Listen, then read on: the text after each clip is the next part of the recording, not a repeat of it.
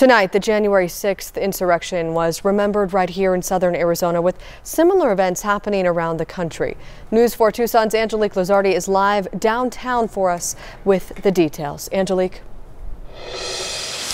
Yes, well, good evening, Amanda. People who attended tonight's event say that they are hoping that political leaders can prevent something like this from happening again in the future. What a sacred place our capital is and our democracy is. A year after the January 6th attack on the U.S. Capitol, some Tucsonans sending a message that voters decide the outcome of elections during a peaceful vigil at Reid Park.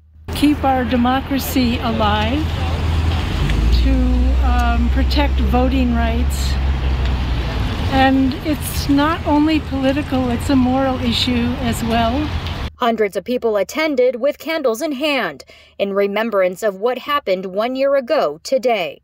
It's just really love of country, love of wanting to uh, sustain the democracy we have, the one that uh, our fathers and our forefathers gave us.